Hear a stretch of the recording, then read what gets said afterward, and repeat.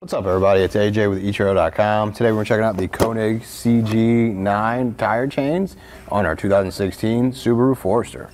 These are going to be self-tensioning tire chains that are going on your tires really easily. They're also a diamond pattern, so once you get them on there, that diamond pattern is going to have more coverage on the tire versus some other styles that are ladder pattern that just kind of go across the tire. Those are good for starts and stops, but this is good for overall. So not only does it help you with the starts and stops, but these links here, the square links, dig into that ice and get you that grip that you're missing when you're going down the road.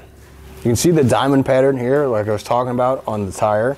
That's where it gets its name from. Now it also is made out of manganese nickel alloy, so that's gonna help it hold up to the elements since it is gonna be in the snow all the time. You don't have to worry about any of that. Now, on the outside, it has have a coating. We still recommend wearing gloves, but that's gonna help it not get as cold as the chains here on the tire. The self adjustment here is really cool because it's going to help adjust this chain as you go down the road and keep it tight to the tire. But not only that, as your tire wears down, that's going to change the profile so it'll adjust to that as years to come. Another thing I like is they give you a nice plastic case for the chain. Some other chains give you just a bag that it rips them to shreds immediately or at the second use. I like to keep the chains all together so they don't take up the back of my vehicle. So I know that this is gonna last with those chains in there. You also have the backside here as a hook and loop. So that's gonna attach to the carpet back there. Just keep them from sliding around. And they come in a quantity of two. I suggest testing it out in your garage. I wouldn't drive around with them on there, but do it in a warmer climate where it's easier and you have more time to make those adjustments and get them on there so that when you have to do it in the snow, you can get it done pretty quickly. Now, it is really easy to do. Check out how I did it. First thing you want to do is lay out your chains. Make sure there's no twists or breaks in it. So just looking at them right here, everything looks fine. Sometimes when you go to coil them up and put them in the box, one can get looped through like this, and you want to make sure you sort that out before you go to put them on your vehicle. Looking at the chains, this divides where the tire is going to go. Another indicator that you have this set up correctly is that the Konig brand is going to be facing down. And then you can look at these chains here, these links. You want the flat side facing up because that's what you want touching the tire. You don't want the teeth on the other side digging in. Now we're going to slide it back behind the tire. Take it like this. Go around. The other side. And then we're going to reach up and make our first connection. I'm gonna take both blue cables, bring up and around the backside of the tire. I'm gonna have to pull some chain out if it gets stuck underneath the tire.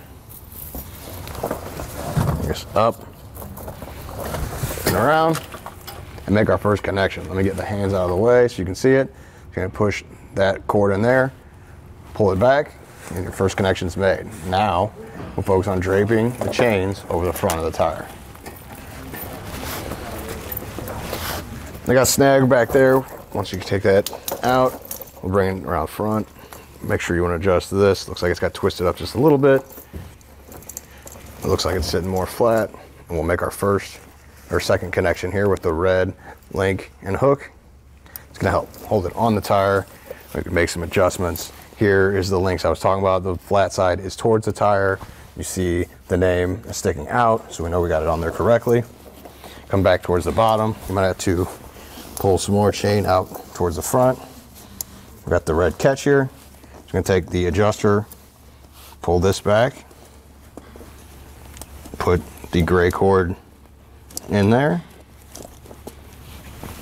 through the side, and then we can pull it tight. You see as I pull that, it ratchets and the, the chain gets tighter to the tire.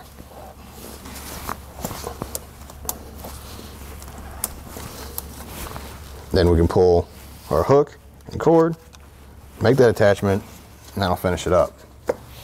Overall, I like these chains. They're really easy to put on there and take off, and that's what it's all about. I don't want to be in the snow any longer than I have to. I think that about does it. Thanks for hanging out. Hope this helped.